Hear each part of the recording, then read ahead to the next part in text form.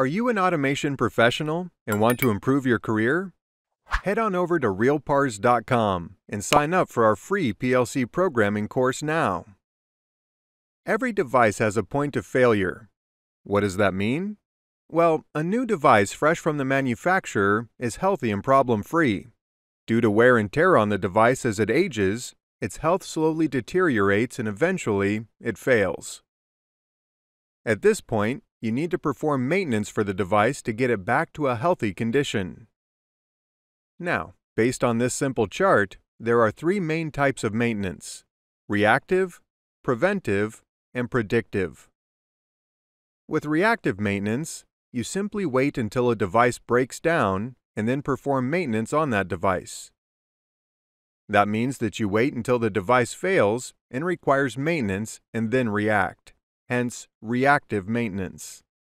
For example, let's say that you have a microwave oven at home. You use it for a few years until it gets to the point of failure and it won't turn on anymore. In this case, you repair the microwave or buy a new one, but it may take a couple of days for you to either repair the microwave or buy a new one. That means, with this wait and react way of maintenance, you may not be able to use your microwave for a couple of days which is not a big deal. However, if the same thing happens in a big industrial enterprise, like an oil refinery, there might be huge consequences. For example, if you wait for a pressure transmitter to fail and then perform maintenance on it, there might be considerable financial losses. This is because every minute of interruptions in the manufacturing process may cost hundreds of thousands of dollars, if not more. So the wait and react or reactive maintenance may work fine for your microwave oven, but it is probably not the best choice for industrial processes. So what is the solution? The solution is to use preventive maintenance. With preventive maintenance, you try to perform maintenance for the device long before the device gets to the point of failure. For example, you can check the pressure transmitter regularly and before it gets to the point of failure, to make sure that there won't be any sudden interruption to the industrial process. However, this is not very cost effective. Why, you ask? Because by performing the maintenance early, you waste device life that is still usable. This is the time that we could still use the device without any maintenance, but now we're losing that because of early preventing maintenance. This is where predictive maintenance can help. As the name suggests, with predictive maintenance, you predict when the device fails and schedule maintenance just before that. Following this process, you minimize the device or machine downtime and maximize its lifetime. So with preventive maintenance, you solve the downtime issue and prevent it from happening, but you lose on device lifetime, meaning the time you could use the device without any issue.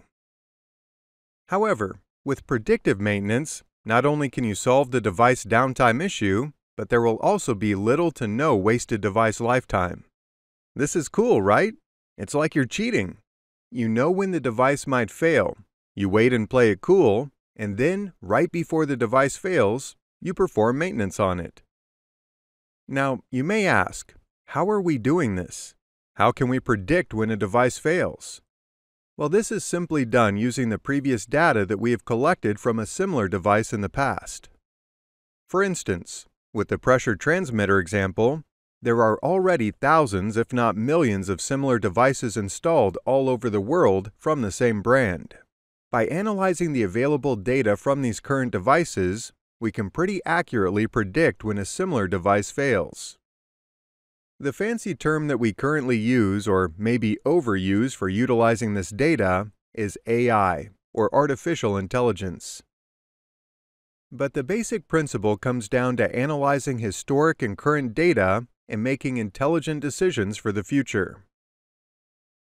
One of these intelligent or smart decisions that we can make is to predict when a similar new device will fail in the future and perform maintenance right before that.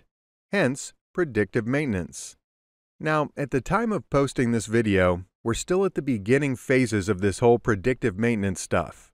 You may argue that this will never work as accurately as it sounds on paper, or it is very expensive to implement, and you may be right, my friend.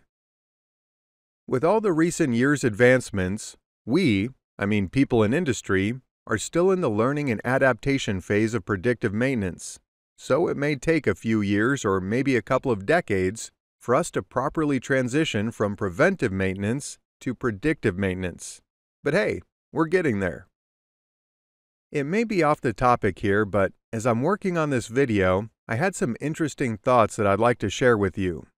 What if we could apply this whole concept of predictive maintenance to human body organs? I mean, what if we could replace a heart before it fails, for example? Could we then live forever? What if aging is a disease? Consider how the world would change if we could live forever. The plan that Elon Musk and SpaceX have started for making humans multiplanetary seems in line with living a considerably longer life. Let me know in the comments below what you think of this. Okay, enough of crazy futuristic ideas. Let's get back to the present time. In summary, we have three types of maintenance reactive, preventive, and predictive.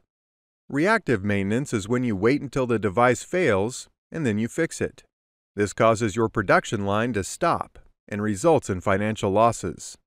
To prevent this, you can use preventive maintenance. This is when you perform regular checks and maintenance before the device fails. But the challenge with preventive maintenance is by performing the maintenance early, you waste device life that is still usable. With predictive maintenance, however, you can predict when the device fails and schedule maintenance right before that. By doing this, you can minimize the device or machine downtime and maximize the lifetime. Want to learn PLC programming in an easy to understand format? and take your career to the next level, head on over to realpars.com.